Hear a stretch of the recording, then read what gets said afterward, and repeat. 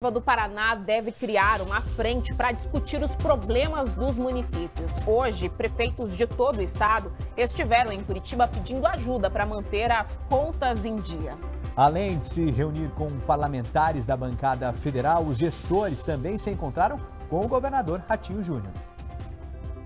A lista entregue pelos prefeitos que representam 19 associações de municípios do estado inclui a queda na arrecadação do imposto sobre circulação de mercadorias e serviços e os cortes no fundo de participação dos municípios. O comprometimento da Receita está alto. Aqui no estado, de cada 100 reais arrecadados, 96 foram gastos com pagamento de pessoal e custeio da máquina pública. Os representantes da Associação dos Municípios do Paraná também se reuniram com o governador Ratinho Júnior e entregaram um documento com informações sobre os reflexos na queda da arrecadação.